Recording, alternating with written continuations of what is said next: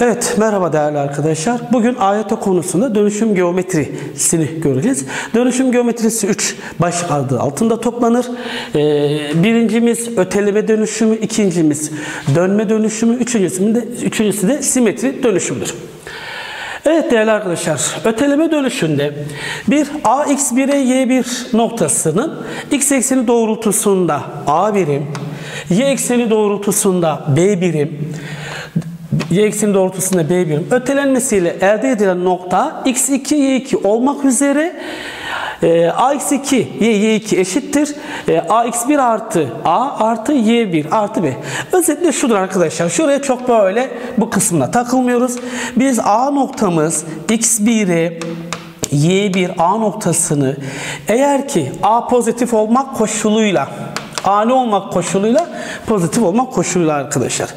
X ekseninde pozitif yönde A kadar hareket ediyorsa artı A, X ekseni yönde negatif yönde hareket ediyorsa eksi A diyoruz değerli arkadaşlar. Y ekseni boyunca pozitif yönde yani yukarı doğru hareketlerde artı B Burada B'yi de ilave edelim artık. B de pozitif olsun. Eğer y ekseninde negatif yani aşağı yönde hareket ediyorsak eksi b. Yani bu durumda noktamız şu şekilde olacaktır değerli arkadaşlar. x1 artı a y1 artı b olacaktır. Tamam mı? Evet şimdi bir, şu örneğimizi bir bakalım değerli arkadaşlar. Analitik düzlemde A2'ye 3 noktasının A 2'ye 3 noktasının x ekseni boyunca pozitif yönde 2 birim yani artı 2 apsisi artı 2 diyorum ötelenmesiyle oluşan B noktasının ha bunu oluşturalım. Şimdi diyorum ki şimdi B ile ilgili bir şey olmadığı için B'ye dokunmuyorum. B'ye dokunmadığım için de B'yi aynen yazıyorum değerli arkadaşlar. Buradan B noktasının apsisi 4'e 3 bulunacaktır. Ordinatla ilgili herhangi bir ifade bulunmadığından aynen yazılır. Daha sonra B noktası y ekseni boyunca negatif yönde 4 birim. Y ekseni boyunca dediği için ordinatı negatif dediği için eksi diye ifade ediyorum. Oluşunca C noktası elde edilir. Bu durumda C noktamız Apsisi ile ilgili bilgi yok. O yüzden onu aynen yazıyorum. Buradan da ordinat ne diye bulunacaktır? Eksi 1 diye bulunacaktır. Evet. Bir örnek daha çözelim değerli arkadaşlar. A ve B e, olmak üzere AB doğru parçası x ekseni doğrultusunda 2 birim sağa, y ekseni doğrultusunda 3 birim aşağı ötelenmesi ile elde edilen A üssü B üssü parçasının uç noktalarının koordinatlarını bulalım. Şimdi değerli arkadaşlar A noktamızı yazalım. A noktamız 2y eksi 1. A noktamızı x ekseni boyunca 2 birim sağ. Koordinat düzleminde sağ demek pozitif yön demektir. O zaman buraya artı 2 diyeceğim. Y ekseni doğrultusunda da 3 birim aşağı dediği için burada eksi 3. Bu durumda A üssü noktamız ne olacaktır arkadaşlar? 4'e eksi 4 diye bulunacaktır. Gelelim B noktasını yazmaya. B noktamızın koordinatları 1'e 4. Şimdi eğer bir bir doğruyu, bir fonksiyonu öteleme hareketi uyguluyorsak fonksiyonun tamamı yani bütün noktaları aynı harekete tabi olur. Bu durumda yine aynı şekilde apsis 2 birim sağa, ordinat 3 birim aşağı ötelenmiş olur.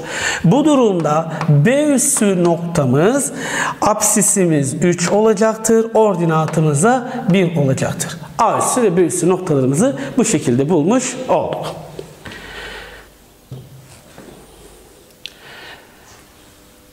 D doğrumuz 2x artı 3 eksi 4 eşit 0 doğrusu x ekseni doğrultusunda 3 birim sağa y birim y ekseni doğrultusunda 4 birim aşağı ötelendiğinde oluşan doğru denklemi bulunuz. Az önce de dediğim üzere bir fonksiyonu hareket ettirdiğimizde öteleme hareketi uyguladığımızda fonksiyonun tamamında uygulanır değerli arkadaşlar. Bu da bize şunu ifade ediyor. Herhangi bir fonksiyonda şöyle ki bir doğruyu düşünelim ax artı by artı c eşittir 0 doğrusunu X ekseni boyunca A birim, X1 birim diyelim. Y ekseni boyunca da Y1 birim ötelediğimizde oluşan doğrunun denklemi özetle size pratik bir şekilde şunu ifade edeceğim. Diyeceğim ki A çarpı X'in yerine X eksi 1 artı B çarpı Y'nin yerine Y eksi 1 yazıyorum. Artı C eşittir sıfırdı deyip düzenimizi yapıyoruz. Şimdi buradan gelin sorumuza. 2 çarpı x'in yerine x eksi kaç birim? 3 birim sağa. Yani eksi 3. Çünkü buradaki x 1 için ne yazdık biz buraya? Eksi 1 diye yazdık. Artı 3 y yerine y eksi y ekseni doğrultusunda 4 birim aşağı aşağı ötelemek demek eksi 4 demektir değerli arkadaşlar. Doğru mu? Kapatıyoruz parantezimizi. Devamında ne vardı? Eksi 4 eşittir 0. Bunu açtığımız zaman bura parantezin önündeki içindekinin tamamıyla çarpım durumunda bildiğiniz üzere parantezin içindeki içindekinin tamamıyla çarpım durumunda. Bu durumda bura 2x olur. Eksi 6 artı 3y eksi eksi artı olur. Artı 12 eksi 4 eşittir 0 diye bulunur. Düzenleyelim denklemimizi. 2x artı 3y. Eksi 6 artı 12 daha 12. E, eksi 4 daha artı 2. Evet. Doğrumuzu x ekseni boyunca 3 birim sağa, y ekseni boyunca da 4 birim aşağı ötelediğimizde oluşan denklemimiz 2x artı 3y artı 2 doğrusu. Yani burada dikkat edeceğimiz nokta değerli arkadaşlar, x'in yerine x eksi x1, y'nin yerine değerli arkadaşlar y eksi y1 yazılacaktır. Anlaşıldı mı? Peki. A ve B pozitif tam sayı olmak üzere doğrusu x ekseni doğrultusunda A birim sağa ve y ekseni doğrultusunda B birim yukarı ötelenerek, ötelenerek doğrusu elde ediliyor. Buna göre AB ikilisini bulunuz. Tabi sorunun başında değerli arkadaşlar buradaki A ve B'nin pozitif tam sayı olduğunu unutmayalım. Bunu gözden kaçırmamamız gerekiyor. Şimdi sorumuza dönecek olursak. Dediğim üzere bu durumda ben x yerine değerli arkadaşlar x yerine x eksi a diye yazacağım. x'in yerine x eksi a şöyle şurayı bir düzenleyelim x eksi a ve y'nin yerine de y eksi b yazacağım burada. y'nin yerine de y eksi b yazacağım. Evet. Şimdi devam edelim arkadaşlar. Gelelim doğrumuza. 3 çarpı x yerine x eksi a artı y yerine y eksi b artı 4 eşittir 0. Tabi bu doğrumuz buna karşılık gelmektedir. Bunu açtığımız zaman ne olur? 3x eksi 3a artı 2y eksi 2b artı 4 eşittir 0. Bunu düzenlediğimde 3x artı 2y eksi 3a eksi 2b artı 4 eşittir 0. Bu neye karşılık geliyor dedik değerli arkadaşlar? 3x artı 2y artı 8. Yani ötelediğimizde bu doğru buna dönüşmekte. Dönüşüm geometrisi dediğimiz üzere. 3x'ler birbirine karşılıklı eşit. 2y'ler karşılıklı birbirine eşit. Sabitler de değerli arkadaşlar karşılıklı olarak birbirine eşit olacaktır. Bu eşitlik neticesinde eksi 3a eksi 2b artı 4 eşittir 8 bulunur. Denklemi düzenlersek a ve b'li terimleri sol tarafa atar ve düzenlersek bu da bu tarafa aldığımız zaman e, ne diye gelecektir? Burası da Bura neydi? Eksi 8'di. Pardon. Şöyle burayı bir düzeltelim. Bura eksi 8'di değerli arkadaşlar. Eksi 8. Heh. Bura eksi 8. Şuraya eksi 8 diye düzeltiyorum. Heh. Ee, bunu bu tarafa aldığımız zaman ne bulunacaktır? 12. Şimdi iki bilinmeyen bir denklem. Bir denklem sisteminin çözülebilmesi için bilinmeyen sayısı kadar denklem verilmelidir. Böyle olmayınca bu defa sorunun başına da en başta dikkatinizi çektiğim noktaya geliyorum. A ve B tam sayıdır. Bu 3A artı 2B eşittir 12 eşittir 12 denklemini sağlayan sadece ve sadece hangi değerlerimiz vardır? A 2, B de 3'tür. A'ya 2 yazdığımız zaman bakın 6, B'ye 3 yazdığımız zaman burası da 6. 6 6 daha daha 12. Demek ki A2 değerli arkadaşlar, B de 3. O zaman AB ikilimiz 2'ye 3 bulunacaktır. Evet. Parabolünün x ekseni boyunca pozitif yönde 3 birim e, 3 birim ve y ekseni boyunca da negatif yönde bir birim ötelenmesiyle oluşan gx parabolünü bulunuz diyor. Şimdi değerli arkadaşlar herhangi bir fonksiyonu y eşittir fx fonksiyonu x ekseni boyunca a birim y ekseni boyunca da b birim ötelediğimizde oluşan denklem fonksiyonumuz şudur. y eksi b eşittir f x eksi a. Kısaca bunu bilmemiz gerekiyor. Bu da aslında e, fonksiyon üzerinde bir nokta tanımlayarak o tanım üzerinden hareketle bulacağımız bir özellik değerli arkadaşlar. Şimdi buradan hareketle fx fonksiyonumuzu x ekseni boyunca 3 birim demekle ben x'in yerine pozitif yönde diyor. Yani x eksi 3. Ne demek? Çünkü bunun kökü bize lazım. x eksi 3'ün kökü nedir? Artı 3. İşte pozitif yönde demek artı 3 demektir. y yerine de y yerine de ne yazacakmışım değerli arkadaşlar? Negatif yönde yani eksi eksi 1'den artı 1. O zaman ki buradaki fx'imiz y'nin kendisi olmakta değerli arkadaşlar. y'nin yerine y artı 1 yazacağım. y'nin yerine ne yazacağım? y artı 1 yazacağım. x'in yerine x eksi 3 artı 2 çarpı x eksi 3 artı 3. Burayı düzenlediğimizde y artı 1 eşittir x kare eksi 6x artı 9 artı 2x eksi 6 artı 3. Yani y ki buradan y tabir ettiğimiz soruda gx diye tanımlanmış. x kare eksi 4x olur değerli arkadaşlar. Buradan da ne olacak bu durumda? y ekseni boyunca e, bir birim dediğimiz buradan da pardon burası eksi 1'di. Şunu düzeltelim. Burası eksi 1. Eksi 1. Buradan da ne olacaktır o zaman? Eksi 1 diğer tarafa artı diye geçtiğinde şu şekilde e, parabolümüz x kare eksi 4x artı 5 olmaktadır. Yani burada yapacağımız x yerine x yerine ne yazacağız arkadaşlar? x eksi a ve y yerine de y eksi b diye yazıp tamamlayacağız. Anlaşıldı mı? Peki.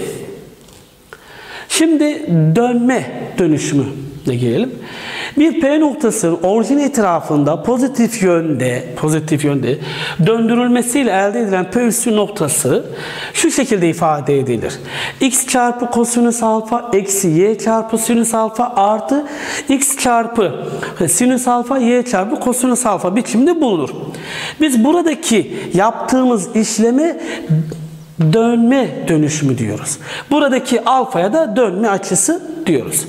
Burada arkadaşlar şu formülün bir ispatını sizlerle birlikte yapalım değerli arkadaşlar.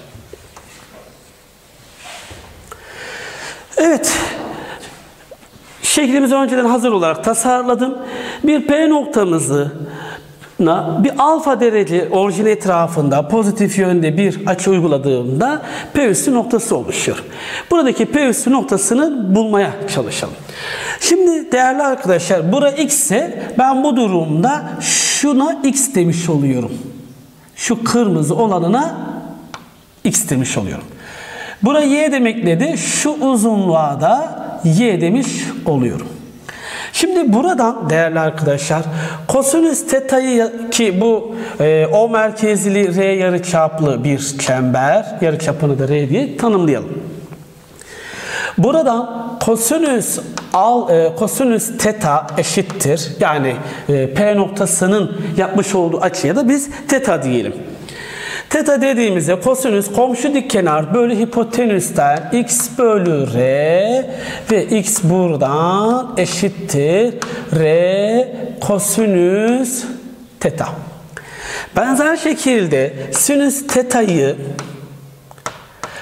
Sinüs teta karşı dik kenar bölü hipotenüsten y bölü r. Buradan da y eşittir r sinüs teta. Yani şu x eşittir r kosinüs teta ve y eşittir r sinüs teta. Bunlar burada dursun değerli arkadaşlar. Devam edelim. Şimdi e, şu şekilde orayı ne diye kullanalım? Renkler karışması mavi diye kullanalım. Evet. P üssü noktasının apsisi x üssü olduğundan şurası şu mavi olan kısım x üssü. Şuradaki buraya üssü ise şu mavi olan kısımda y üssü değerli arkadaşlar. Şimdi bu durumda bu durumda şu mavi üçgeni ki dik üçgen bu. Noktalar yani eksenlere dik gelir değerli arkadaşlar. Kosinüs teta'yı yazacak olursak kosinüs alfa artı teta. Açımız ne burada değerli arkadaşlar? Teta birim burada, alfa birim burada. Alfa artı teta. Kosinüs alfa artı teta komşu dik kenar bölü hipotenüs. Tabi bu x üssü diye tanımlamıştık. Buradan x üssü eşittir r çarpı kosinüs alfa artı teta. Değerli arkadaşlar x üssü eşittir r çarpı kosinüs alfa artı teta trigonometrideki kosinüsün toplam formülünden bunun açılımını yapacak olursak kosinüs alfa kosinüs teta art eksi buraya eksi olur e, sinüs alfa çarpı sinüs teta. Bunu dağıttığımız zaman içeri r çarpı kosinüs teta çarpı kosinüs alfa eksi r çarpı sinüs teta çarpı sinüs alfa. Buradan değerli arkadaşlar r kosinüs teta'nın x olduğunu yukarıdaki bilgiden r sinüs teta'nın da y olduğunu görüyoruz değil mi? Bu durumda x eşittir yerine yazacak olursam x çarpı kosinüs alfa eksi y çarpı sinüs teta. Biz neyi bulduk? P üssü noktasının apsisini bulduk. Şimdi ordinatını bulmaya gelelim. Ordinatı için de değerli arkadaşlar sinüs alfa artı teta'yı kullanacağım. Neden alfa artı teta? Açımız burada teta, burada alfa artı alfa artı teta. Uzunluğumuza y üssü burada arkadaşlar. Burası y üssü. Şimdi burada karşı dik kenar y üssü bölü yarıçap. Yani hipotenüs. Y üssü eşittir R çarpı sinüs alfa artı teta. Buradan da trigonometrideki sinüsün toplam formülünden sinüs alfa artı teta'nın açılımını yapacak olursak sin alfa çarpı cos teta artı sin teta çarpı cos alfa olacaktır. Bunu da dağıtır ve düzenlersek y üssü eşittir r çarpı kosinüs teta çarpı sin alfa artı r çarpı sinüs teta çarpı kosinüs alfa. Değerli arkadaşlar, R kosinüs teta'nın x olduğunu yukarıdaki bilgiden, R sinüs teta'nın da y olduğunu tanımladık. Yerine yazacak olursa bu durumda y üssü eşittir. Burası x, burası y dedik arkadaşlar. x çarpı x çarpı sin alfa artı y çarpı kosinüs alfa olmaktadır. Yani burada özetle şunu ifade edeceğiz arkadaşlar. Bir P noktasının Px virgül y noktasının orijin etrafında alfa derece döndürülmesiyle oluşan P üssü noktasının koordinatları şöyle. x çarpı x çarpı kosinüs alfa eksi y çarpı sin alfa virgül ordinatı da ordinatı da şurada yazdığımız üzere x çarpı sin alfa artı y çarpı kosinüs alfadır. Şimdi bir örnekle bunu bir görelim değerli arkadaşlar. Analitik düzlemde P noktasının orijin etrafında 60 derece döndürülmesi oluşan noktanın koordinatlarını bulalım. P noktası 2,4 alfa eşittir pozitif yönde 60 derece döndürülmesiyle. Bunu döndürdüğümüz zaman P üssü noktası değerli arkadaşlar 2'ye 4 buraya eşittir diye yazacağım. 2 çarpı kosinüs alfa eksi 4 çarpı sinüs. Alfa yerine değerini yazalım aslında? 60 derece diye yazmıştık bunu.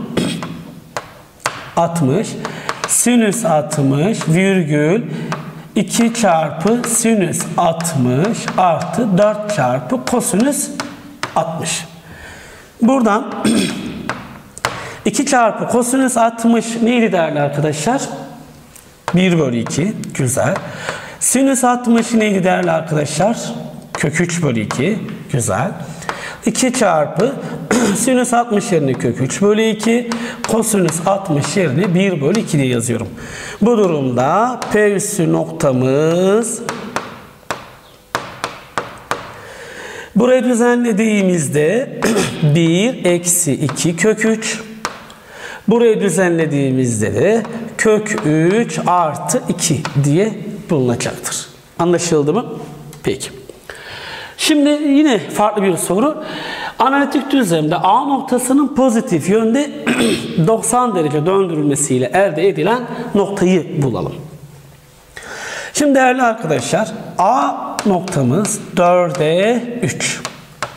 Alfa eşittir 90 derece. Döndürdüğümüz zaman A üssü şöyle olur. 4 çarpı kosinüs 90 direkt yazıyorum artık.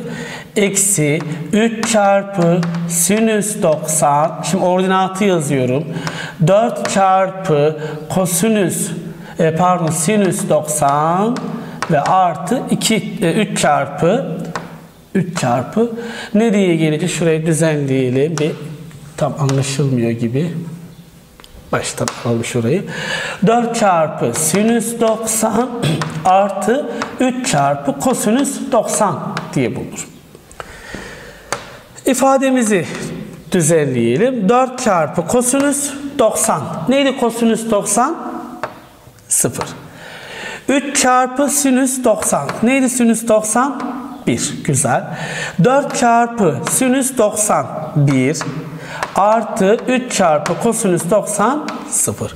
Yani A üssü noktamız eksi 3'e 4 diye bulunacaktır.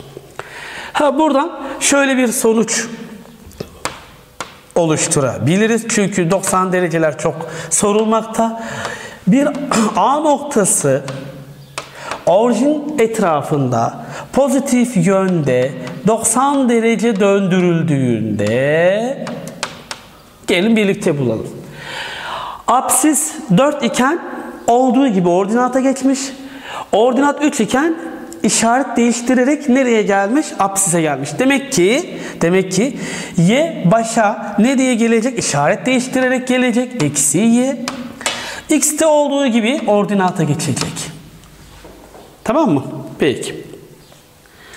Analitik düzlemde P noktasının orijin etrafında negatif yönde.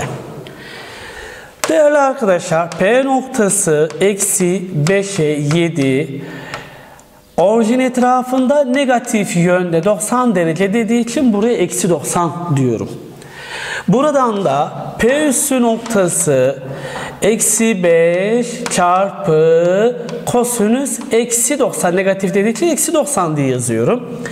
Eksi absisimiz 7 idi. 7 çarpı sinüs eksi 90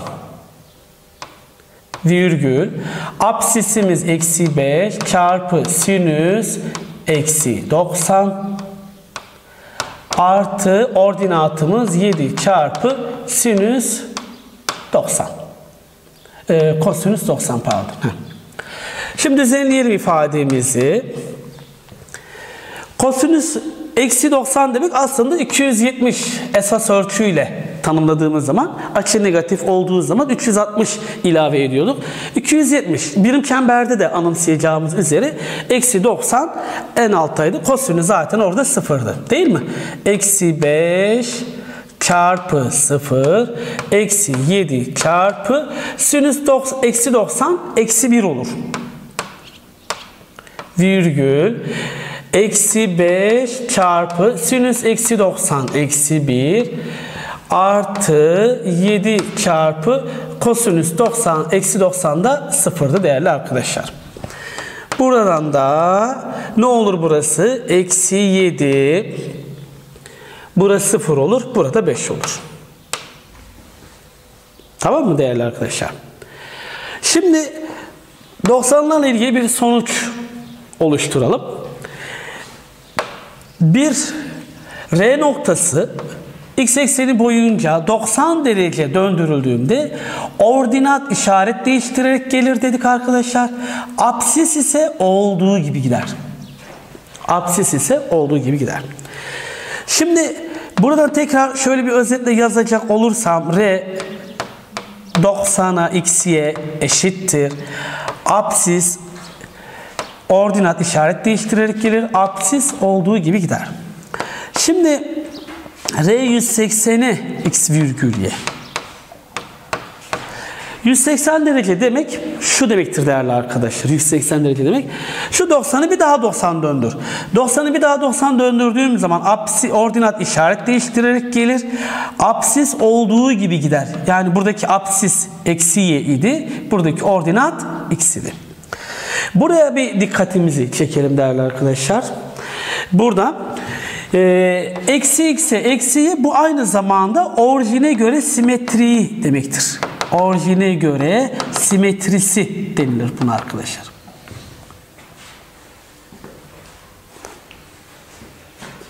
Heh. 270'te de aynı şekilde değerli arkadaşlar e, 180'i biz zaten 180'de apsis ve ordinatın sadece işaret değiştirdiğini biliyoruz. O zaman 270'te ne olacaktır?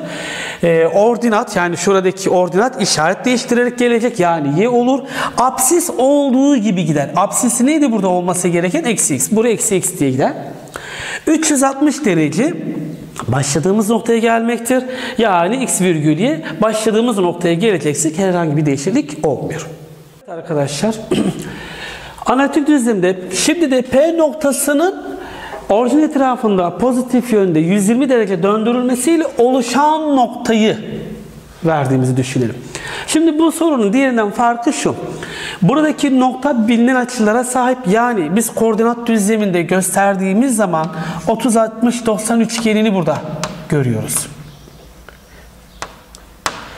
P noktasının apsisi eksi bir ordinatı kök 3 olduğu için ikinci bölgededir. P noktası ikinci bölgede eksi 1'e kök 3.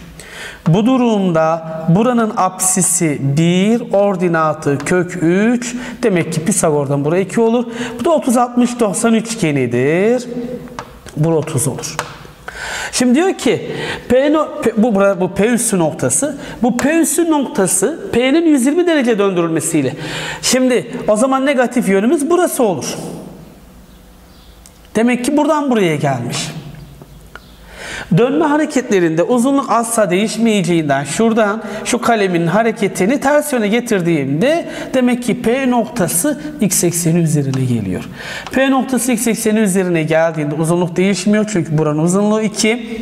O zaman apsisimiz 2, ordinatımız 0'dır değerli arkadaşlar. Doğrunun orijin etrafında pozitif yönde 180 derece. 180 derece demek arkadaşlar aynı zamanda orijine göre simetrini almak demektir. Yani x'in yerine kısaca eksi x, y'nin yerine eksi y yazıyoruz. O zaman 2 çarpı eksi x eksi 5 çarpı eksi y eşittir 10. Eksi 2x artı 5y eşittir 10 diye bulunur. Seçeneklerde varsa işaretliyoruz. Yoksa eşitlik iki tarafını eksi 1 ile çarpıyoruz. 2x eksi 5y eşittir eksi 10. Hadi bu da yoksa eksi 10'u bu tarafa alırız. 2x eksi 5y artı 10 eşittir 0 denklemini elde etmiş oluruz değerli arkadaşlar. Simetri dönüşümü. Simetri dönüşümü bir e, noktanın veya bir e, doğrunun veya bir fonksiyonun herhangi bir noktaya ya da bir doğruya göre simetrini almak demektir. P noktasının P noktasının e, M noktasına göre simetri P ise bu demek oluyor ki M noktası simetri merkezidir. P noktasının D doğrusuna göre simetri P üssü ise bu demek oluyor ki P D doğrusu simetri eksenidir değerli arkadaşlar. Buradan bir noktanın bir noktaya göre simetriyi işte şöyle bir düşünebiliriz arkadaşlar. A noktasından B noktasına gittiğimizde absisin a eksi x 1 kadar arttığını dolayısıyla buradan sonra da simetrik demek eşit ve dik uzaklık demektir. O zaman bu da a eksi x 1 kadar artmış olacaktır. Bu durumda değerli arkadaşlar ben şu a'nın üzerine şu a'nın üzerine yani a artı a eksi x1 bu da ne olacaktır değerli arkadaşlar? 2a eksi x1 e aynı mantıkla y1'den b'ye burası b eksi y1 kadar artıyor. Buradan sonraya da aynı miktarda artacak. Ama bu artış neyin üzerine? b'nin üzerine. b artı b eksi y1 bu da 2b eksi y1 olur. Veya e, orta noktadan da bulabiliriz. İşte a noktasının b noktasına göre simetri a üssü ise bu demek oluyor ki b noktası a ile b'nin orta noktasıdır. Orta nokta ne demektir? Apsisler toplamının yarısı A'ya, ordinatlar toplamının yarısı B'ye eşittir. Yine aynı bağıntıyı görebiliyor, bulabiliyoruz arkadaşlar. A noktasının eksi 4'e 1 B noktasına göre simetri. Bu tür sorularda hiçbir zaman formülü kullanmaya gerek yok. Apsis eksi 4'ten eksi 1'e kaç artmış değerli arkadaşlar? 3 artmış. Değil mi? 3 artmış. 3 artmış ise buradan sonra ya da 3 artacağından ama eksi 1 3 artar. Eksi 1 3 arttırınca 2 olur. Ordinat da yani burada 3 artar diyoruz. Ordinat da 1'den 3'e 2 artmış. 2 artmış. Buradan sonraya da 2 artar. 2 artar. 3'e 2 ekleyince 5 diye bulunur. Evet A noktasının B noktasına göre simetri C'dir diyor. A noktasının B noktasına göre simetri B'dir diyor. C noktasına göre C'nin de D'ye göre simetriği D ise B noktasının koordinatlarını bulunuz. Şimdi değerli arkadaşlar A noktasının A noktası eksi 3'e 3 A noktası neye göre simetri diyor arkadaşlar? B'ye göre. B B'ye göre simetri neymiş arkadaşlar? C noktasıdır diyor. Sonra C noktasının da C noktasının da orijine göre simetriyi orijine göre simetri D noktasıdır diyor. Eksi 5. Doğru mu arkadaşlar? Şimdi bunu tersten yapacağız. O zaman D'nin orijine göre simetri buraya verecek. Orijine göre simetri aslında e, daha önce de değindik. Apsis ve ordinatın sadece işareti değişir. Eksi 1 artı 1'e dönüşür. 5 de eksi 5 olur. Şimdi C'nin yerine değerli arkadaşlar 1'e eksi 5 yazıyorum. E şimdi A noktasının B noktasına göre simetri C ise B A ile C'nin orta noktasıdır. Orta nokta neydi değerli arkadaşlar? Apsisler toplamının yarısı.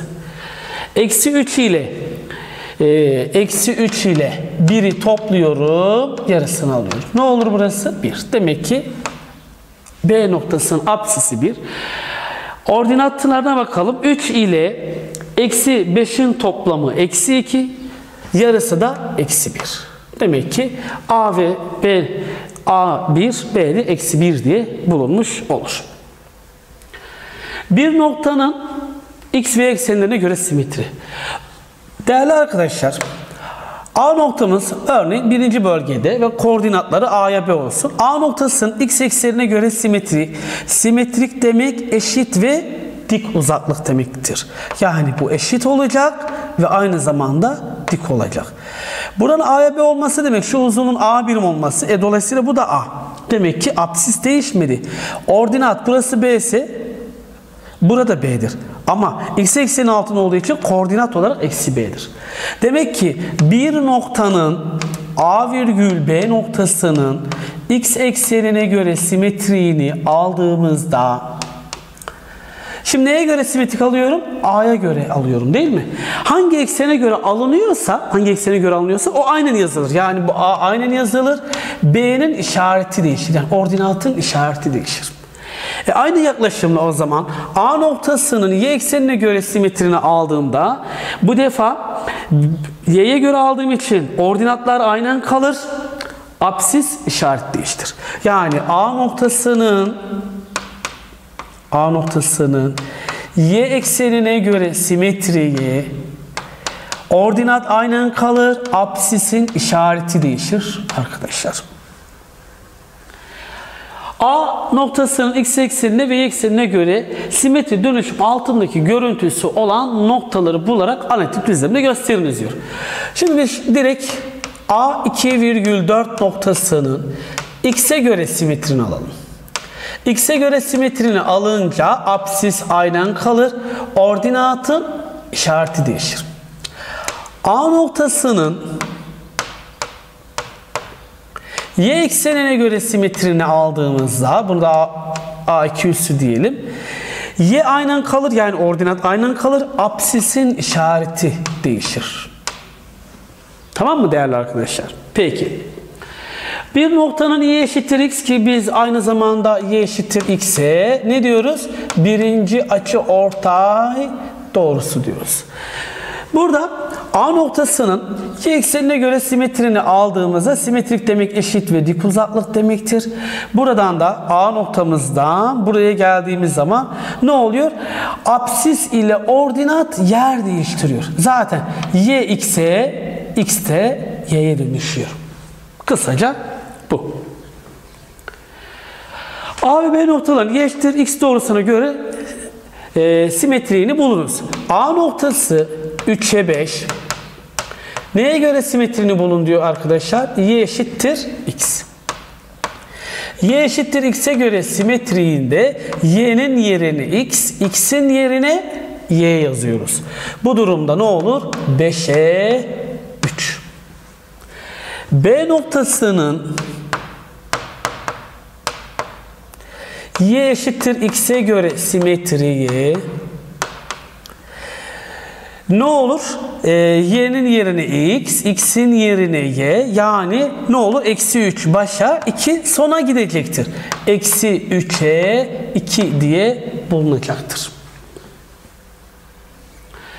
Y eşittir eksi x ki biz buna da aynı zamanda ikinci açı ortay doğrusu diyoruz arkadaşlar. İkinci açı ortay doğrusu. Şimdi değerli arkadaşlar ikinci açı ortay doğrusunda da yani bir noktanın y eşittir eksi x'e göre simetri şu. x'in yerine y'nin yerine eksi x, x'in yerine eksi y yazıyorsun. Bu durumda ne olur? Eksi y'ye eksi x diye bulunur. A noktasının y eşittir x ve y eşittir eksi x noktalarına göre simetriğini bulalım. A noktamız 1'e eksi 2. Bunun önce y eşittir x'e göre simetriğini bulalım. Buradan a üssü, a üssü ne olur değerli arkadaşlar? Apsis ile ordinat yer değiştirir. Eksi 2y 1 diye bulunur. Aynı noktanın y eşittir eksi x yani ikinci açıortay doğrusuna göre simetriğini bulduğumuzda apsis ile ordinatın hem yerleri hem işaretleri değişir. O zaman eksi 2 2 diye 1 de eksi 1 diye gidecektir. Bir noktanın x eşittir a doğrusuna göre simetri. Bunu nokta olarak arkadaşlar düşünelim. Şöyle. A noktası koordinatları x1'e y1 ve bu x eşittir A doğrusuna göre simetrini bulun dediğimizde kısaca şunu yapıyoruz değerli arkadaşlar. Şimdi burada x1'den A'ya ne kadar artmış oluyor? A kadar. Buradan öteye de A artar. 2A eksi x1. Sanki noktaymış gibi düşünüyorum. Y ile ilgili bir bilgi var mı? Yok. Olmadığı için Y1 aynen yazılır. Aynı mantık değerli arkadaşlar. Y eksenine göre de alındığında yani A noktasının A noktası x1'e y1 noktasının y eşittir b'ye göre simetriğini aldığımızda x ile ilgili bir bilgi var mı? Yok. Demek ki apsis aynen yazılır. O zaman ordinat ne olur? 2b eksi y1 bulunur.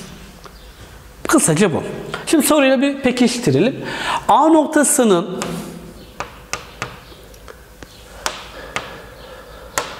A noktası eksi 2'yi 3 x eşittir 4 doğrusuna göre önce bir simetriğini bulalım. Şimdi e, x apsisi temsil ediyor. Apsis eksi 2'den 4'e kaç artmış? 6 artmış. Değil mi? 6 artmış. O zaman buradan sonra da 6 artar. 6 artar. 6 artacaksa bura 10. Y ile ilgili bilgi olmadığı için y aynen yazılır. Değil mi? Peki A noktasının A noktasının y eşittir eksi 2 doğrusuna göre simetriğini bulalım. Apsis ile yani x ile ilgili bilgi olmadığından apsis aynen yazılır.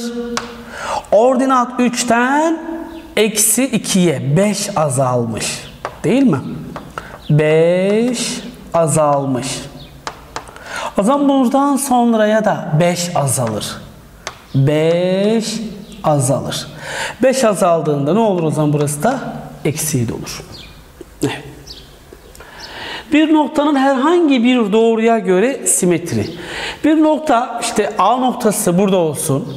A noktasının D doğrusuna göre simetrini aldığımızda simetrik demek eşit ve dik uzaklık demektir. Bu tür soruların çözümü biraz uzun. Bununla ilgili bir örnek soru çözeceğim birazdan. Onun için önce şunu yapacağız. Buradaki kesiştikleri nokta yani şu simetri noktası e, A ile A üssünün orta noktası olacağından burası x1 artı x2 bölü 2 ordinat da y1 artı y2 bölü 2. Bu nokta doğru denklemini sağlayacağından doğru denklemini de yerine yazıyoruz. Oradan bir denklem. Sonra ikinci denklemi de d doğrusunun eğimini bulacağız. D doğrusu ile D doğrusu ile buradaki AA üssü doğrusu dik kesiştiğinden eğimler çarpımı eksi 1'dir. D doğrusu eğimi buysa demek ki AA üssü doğrusunun eğimi ne olacaktır bu durumda? Eksi 1 bölü MD diye bulunacaktır. Formülize etmeye gerek yok. Şimdi soru üzerinde daha net anlayacağız. A noktasının doğrusuna göre simetrini bulunuz diyor değerli arkadaşlar. Şimdi Temsili doğrumuz bu olsun. x artı 2y artı 9 eşittir 0. Noktamız da şurada olsun. a 2y eksi 3. Simetri demek eşit ve dik uzaklık demektir değerli arkadaşlar. Biz bunun koordinatlarına A'ya B diyelim. Eşit ve dik uzaklıktır dedik. Bu nokta AA üssün orta noktası olduğundan bunun koordinatları orta nokta olduğundan apsisler toplamının yarısı ordinatlar toplamının yarısı olur. Bu nokta doğru üzerinde olduğundan doğru denklemini sağlar. Yerde yazıyorum. A artı 2 bölü 2 artı 2 çarpı B eksi 3 bölü 2 artı 9 eşittir 0 olur. Bunu düzenlersek A artı 2 artı 2B eksi 6 artı 18 eşittir 0. Buradan da A artı 2B eşittir diyelim. E, eksi 4 14 olur. Diğer tarafa eksi 14 diye geçecektir. Doğru mu arkadaşlar? Eksi 14 diye geçecektir. Şuradaki D doğrusunun eğimi eğim eksi A bölü B. Eksi A bölü B'den bunun eğimi eksi 1 bölü 2. Yani şöyle ax artı by artı c eşittir. Sıfır doğrusunun eğimi eksi a bölü b'dir. Bunu kullandım. Bunun eğimi eksi a bölü b ise demek ki m a a üssünün eğimi ne olur o zaman değerli arkadaşlar? 2 olur. E, eğim neye eşittir arkadaşlar? Ordinatlar farkı yani b eksi eksi 3 b artı 3 olur. Bölü apsisler farkı a eksi 2 olur. Buradan da içler dışarı çarpım yapacak olursak 2a eksi 4 eşittir b artı 3 olur. 2a eksi b eşittir eksi 7. Şunu yazalım. a artı 2b de eşittir eksi 14. Burayı 2 ile çarpıp taraf tarafa toplarsak buradan b'ler gider. 4a 5a eşittir. Eksi 14 olur. Ee, evet eksi 14. Eksi 28 mi bulunur değerli arkadaşlar? A burada ne bulunacaktır? Eksi 28 bölü 5 diye bulunacaktır. A'nın yerine değerini yazıp B'yi bulacağız. A yerine değerini yazınca burası eksi 56 bölü 5 eksi B eşittir 7. Eksi B'yi diğer tarafa alalım. Şu tarafa. 7 de buraya alalım. Eksi 56 bölü 5 eksi 7 buraya artı diye gelir. Eşittir B. 35 olur. Oradan da eksi 21 bölü 5 diye bulunur. Yani A eksi 28 bölü 5 B de değerli arkadaşlar eksi 21 bölü 5 diye bulunur. Evet bu karşılaşabileceğimiz ikinci oturumda yani bugünkü atıyla AYT'de en zor işlemli sorulardan biri. Ee, bunu şöyle de yapabilirdik. İşte seçenekler verildiği zaman biz seçeneklerden direkt hangisi bu denklemi sağlayan tek seçenek varsa cevap odur deyip işaretleyip geçeriz. Bu kadar uzatmaya da gerek kalmamış olur. Analitik düzlemde A noktasının bir D doğrusuna göre simetri eksi 6'ya 16 olduğuna göre D doğrusunun denklemini bulunuz. Şimdi burada taslak olarak bir A noktamızın A noktamız 2y eksi 4. Bir D doğrusuna göre simetriyi, simetri demek ne dedik arkadaşlar? Eşit ve dik uzaklıktır dedik. A üssü eksi 6'ya 16 diye. Eşit ve dik uzaklıktır dedik değil mi arkadaşlar? Şimdi buradan Buradaki A ve A üssünün orta noktası şu nokta olduğundan bu noktanın koordinatları orta nokta olduğundan apsisler toplamının yarısı yani 2 ile eksi 6'yı toplayalım. Eksi 4 yarısı eksi 2 ordinatlar toplamında yarısından bura 6 noktam D doğrusunun bir noktasını biliyoruz. Şimdi buradan A, A üssü eğimini yani şu AA üssü doğrusunun eğimini bulalım. Eğim neydi arkadaşlar? Ordinatlar farkı 16 eksi eksi 4 artı 4 olur. Bölü absisler farkı eksi 6. Burada dikkat edeceğimiz nokta e, 16'dan yani A üstünden A'ya gittiğimizde paydalı da A üstünden A'ya gidiyoruz. Burası önemli arkadaşlar. Eksi 6'dan 2. Bura ne olur? 20 bölü eksi 8 olur. Değil mi? 20 bölü eksi 8 olur. Buradan da sadeleştirme yapacak olursak ne olacak? Eksi 5 bölü 2 diye bulunur. 4 ile sadeleştirdik 5, 4 ile sadeleştirdik 2. AA üstünün eğimi bu ise bu iki doğru dik kesiştiğinin eğimler çarpımı eksi 1'dir. O zaman bunun eğimi ne olur? 2 bölü 5 olur. Eğimi ve noktası bilinen doğru denkleminden y eksi 6 eşittir. Eğim çarpı x eksi x1. Eksi x'ten dolayı artı olur. İçler dışlar çarpımından 2y eksi 12 eşittir. 5x artı 10. Tümünü bir tarafa alalım. 5x eksi 2y e, eksi 12 de diğer tarafa artı geçeceğinden 22 eşittir 0. Doğru denklemimiz bu. Bir doğrunun bir e, doğrunun bir noktaya göre simetri. Bir doğrunun bir noktaya göre simetrini de arkadaşlar şu şekilde bulacağız. X yerine kısaca x yerine kısaca 2a eksi x. Yani biz burada hangisine göre simetrini alıyorsak 2a eksi x ve y yerine 2b eksi y diye yazacağız. Örnek üzerinde daha net anlayacağız arkadaşlar. 2x eksi 3y artı 5 eşit 0 doğrusunun A noktasına göre simetriğini bulunuz. Yani ben burada x'in yerine 2 çarpı 3 eksi x yani bu da 6 eksi x kısaca. Y'nin yerine, y'nin yerine 2 çarpı eksi 2 eksi y, y'nin yerine de eksi 4 eksi y yazacağım. O zaman doğru denkleminde, doğru denkleminde x'in yerine 6 eksi x ve y'nin yerine eksi 4 eksi y artı 5 eşittir 0. Açalım burayı 12 eksi 2x artı 12 ek, artı 3y artı 5 eşittir 0. Eksi 2x artı 3y düzenliyorum. Eksi 2x artı 3y. 12 12 daha 24 29 artı 29 eşittir 0. Yani doğrunun noktaya göre simetri yine bir doğrudur. Olay şu aslında. Biz hangi nesnenin simetrini alıyorsak burada aynısı oluşuyor. Bu nokta ise nokta olur. Eğer ki bu bir doğru parçası olsa o zaman burada simetride ne olmak zorunda? Bir doğru parçası olmak zorunda. Evet doğrusunun doğrusuna göre simetri.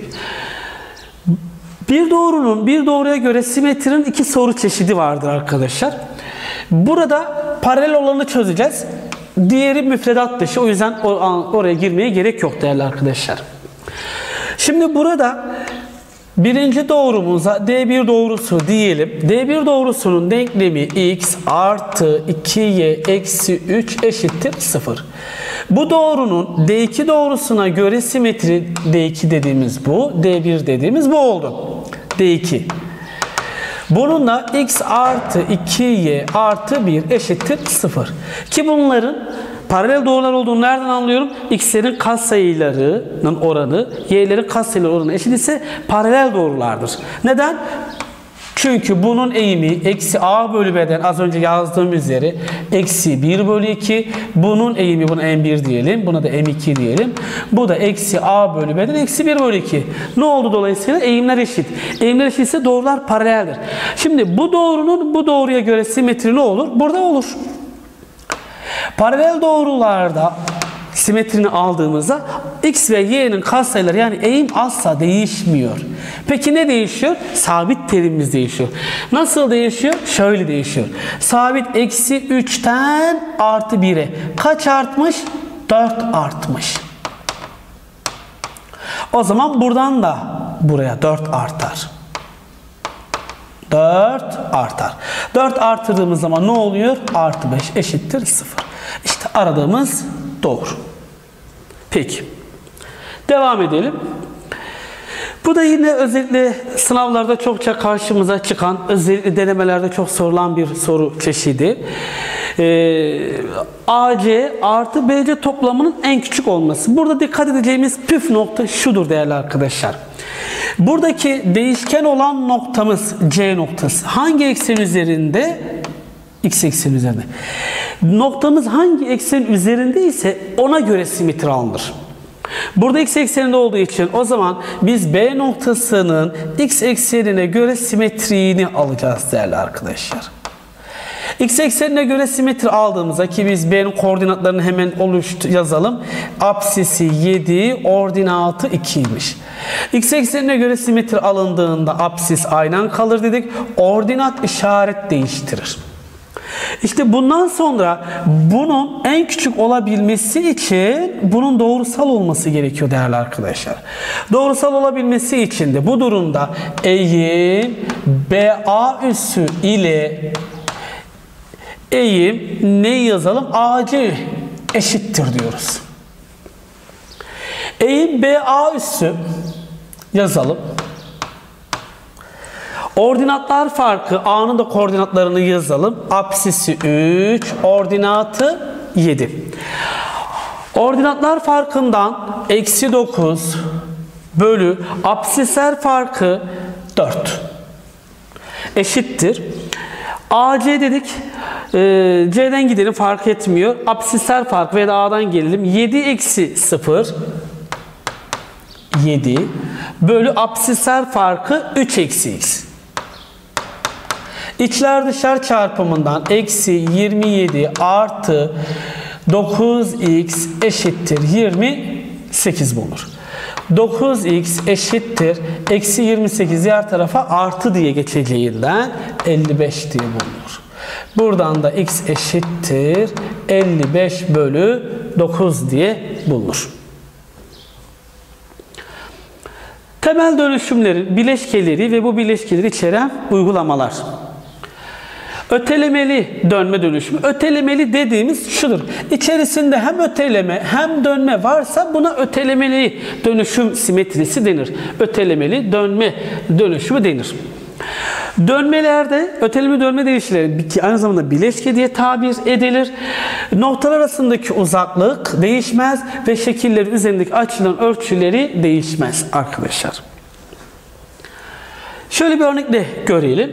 A noktasının önce x ekseni boyunca pozitif yönde 4 birim ardından y ekseni boyunca negatif yönde 5 birim ötelenerek B noktası elde ediliyor. Burada bir öteleme hareketi buraya kadar. Değil mi? Öteleme. Buna göre B noktasının orijin etrafında pozitif yönde 90 derece döndürülmesiyle oluşan C noktasını bulunuz diyor. Şimdi A noktasının X ekseni boyunca pozitif yönde 4. Yani buraya artı 4 kısaca. Y ekseni boyunca negatif yönde 5 birim yani ordinatı eksi 5. O zaman bu buna B demiş. B noktamız 5'e eksi 2. Şimdi B noktasının orijin etrafında 90 derece döndürülmesiyle 90 derece döndürülmelerde 90 derece döndürmelerde ordinat işaret değiştirerek gelir dedik arkadaşlar.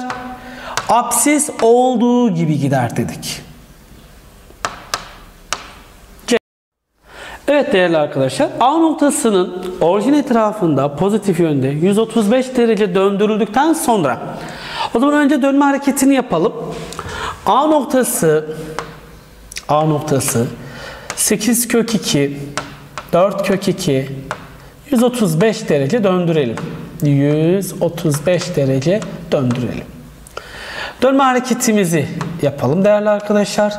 x çarpı yani 8 kök 2 çarpı kosinüs 135 eksi formülümüzden yazıyoruz.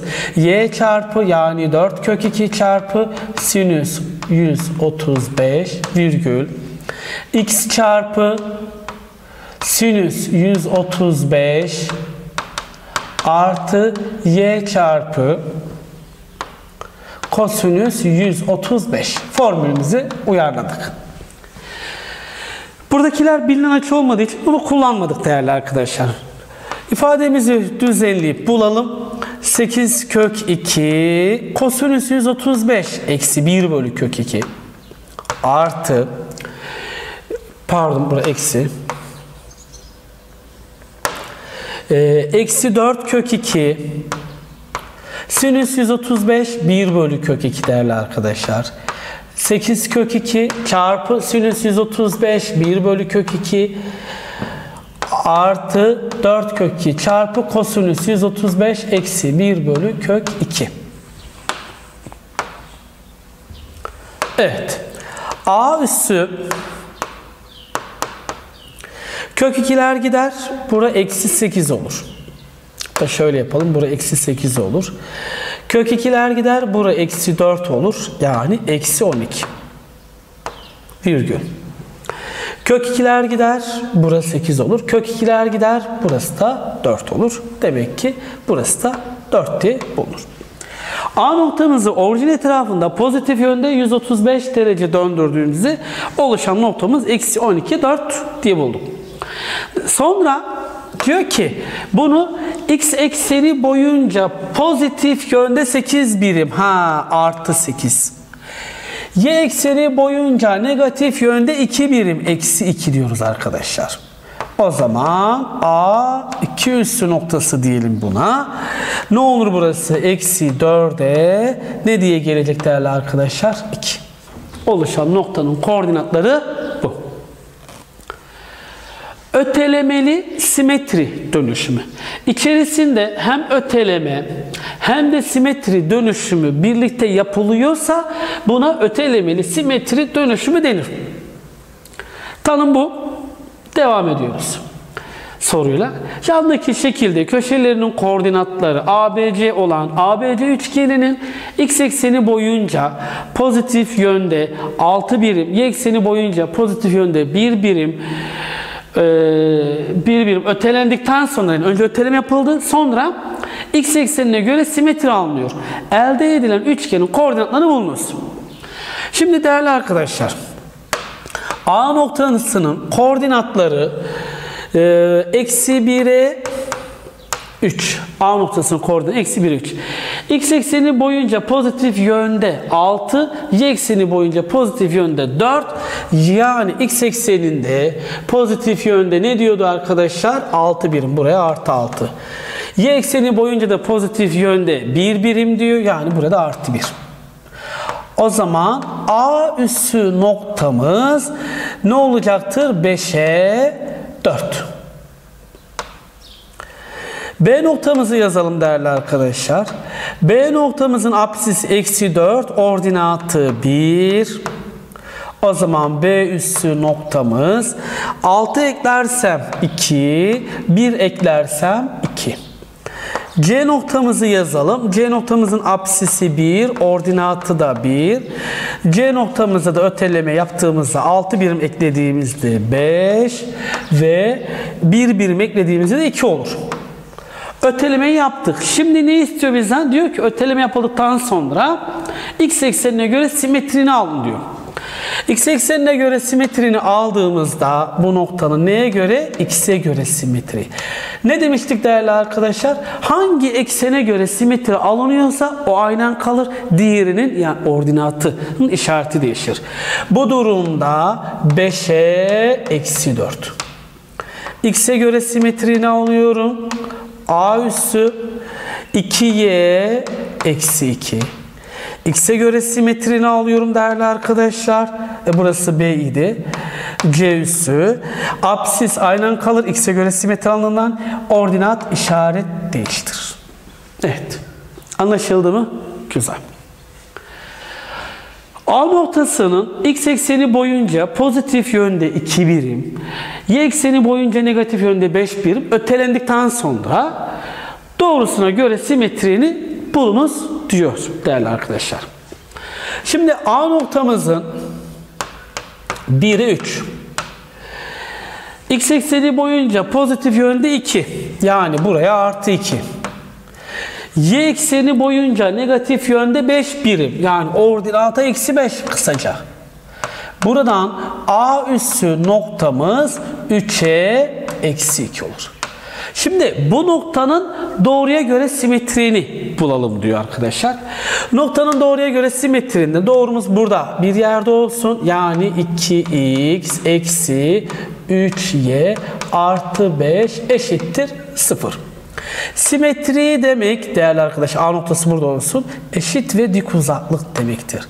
O zaman bu A2 üssü olsun ve bunun da koordinatları A'ya B olsun. Simetri eşit ve dik uzaklıktır dedik. Bu eşitlikten dolayı burası orta nokta olur. Orta nokta apsisler toplamının yarısı.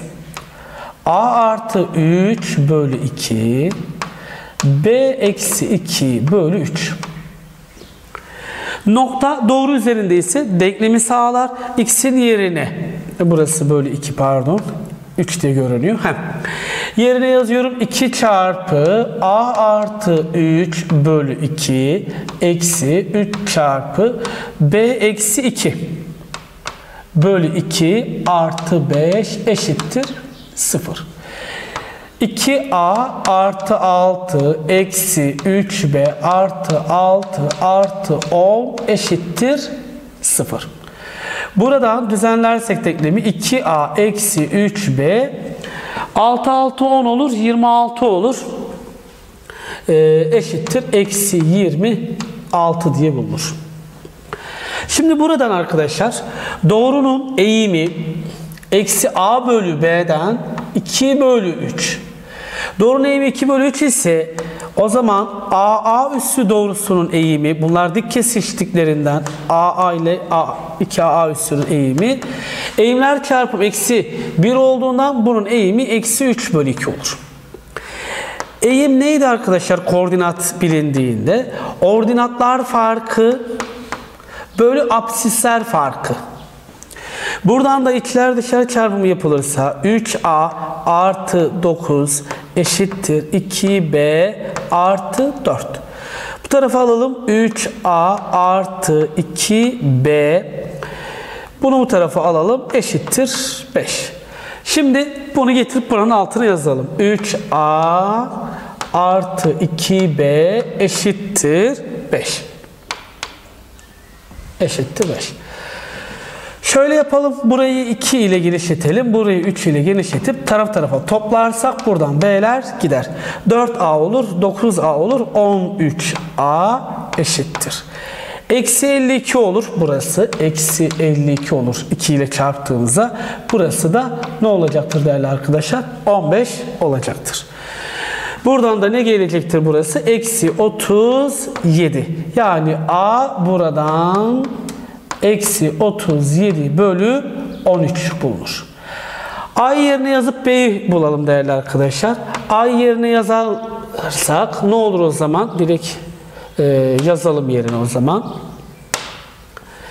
Şurada yazalım. 3 ile çarparsak 3 kere eksi e, 37'den ne olur? Eksi 111. Eksi 111 bölü 13 artı 2b eşittir 5. Bu da buraya artı geçeceğinden şöyle ki burası gider. Buradan da ne olur? 2b eşittir 65 olur. Eklersek 176 bölü 13 olur. 2 ile de sadeleştirirsek b de buradan e, ne diye gelecektir? 88 bölü 13. Demek ki noktamız eksi 37'ye bölü 13 arkadaşlar. Ordinatımızda 88 bölü 13 bulunacaktır. Evet. Evet değerli arkadaşlar. Sizlere elimizden geldiğince e, bu uzaktan eğitim sürecinde e, üstel fonksiyonları, logaritmik fonksiyonları, üstel ve logaritmik denklem ve eşitsizlikleri ve burada da sizlere e, dönüşüm geometrisini anlattık. Hepinize üniversite sınavında beklediğinizden daha iyi olması dileğiyle hepinize başarılar diliyorum.